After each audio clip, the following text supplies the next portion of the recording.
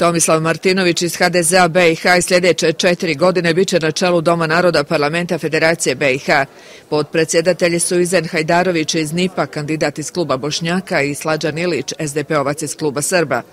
Imenovanju rukovodstva Doma prethodilo je preuzmanje mandata od strane zastupnika te polaganje prisege. Podsjetimo prema izmjenama izbornog zakona koje je nametnuo visoki predstavnik Međunarodne zajednice u BiH, Kristijan Schmidt, Dom naroda federalnog parlamenta ima ukupno 80 zastupnika, umjesto 58 kao do sad. Sastoji se od klubova tri konstitutivna naroda sa po 23 zaslanika umjesto po 17 kao do sad, te kluba ostalih koji sada ima 11 umjesto 7 kako je bilo ranije. Konstituirani su i klubovi naroda. Za predsjednika kluba Hrvata izabran je Damir Džeba. Šef kluba Bošnjaka je Muamer Zukić iz SDA, kluba Srba Igor Stojanović iz SDP-a. Zastupnici se danas nisu izjašnjavali o izaslanicima Doma naroda. Liste će prvo biti dostavljene SIP-u na provjeru. Ono nekakvom hodogramu kako bi to trebalo ići da do 26. mi najvjerovatnije dobijemo središnjeg izbornog povjerenstva znači utvrđena lista kandidata za Dom naroda parlamentarne skupštine, a da bi onda 27.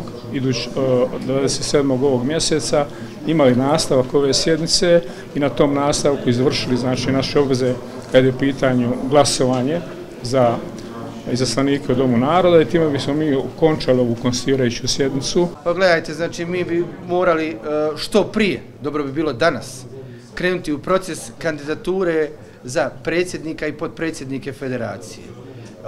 Procedura vam je poznata, 25. je zakazan zastupnički dom i toga ja mislim da ćemo mi već u najama 27. imati dom naroda. Ukoliko bi ove procedure pravilnog kandidiranja, ovjera završene, ja se nadam da bi mi mogli do kraja mjeseca završiti cijeli ovaj proces. Dakle, iskreno se nadam da će e, na osnovu sporazuma neki koraci biti uspostavljeni, ako ništa jedna nova politička praksa, da pričamo o radu i o poslu, a ne o imenovanjima samo. Pa vidite, ne možete, evo kažem, krenuti u formiranje vlasti, a da nemate kapacitet. I da se onda pouzdajete na pola puta da će visoki predstavnik donijeti odluku kojim će promijeniti ustav da biste vi mogli formirati vlast, da bi jedna partija ili nekoliko partija moglo formirati vlast. Hrvatski klub jednoglasno je dao potporu Lidiji Bradari za predsjednicu federacije, dok je klub Bošnjaka na mjestu podpredsjednika podržao Refi Kalendu. Ime drugog podpredsjednika još nije poznato. O tomu bi se ovaj dom mogao izjašnjavati na sljedećoj sednici 27. siječnja, kada bi na dnevnom redu bio i predlog proračuna.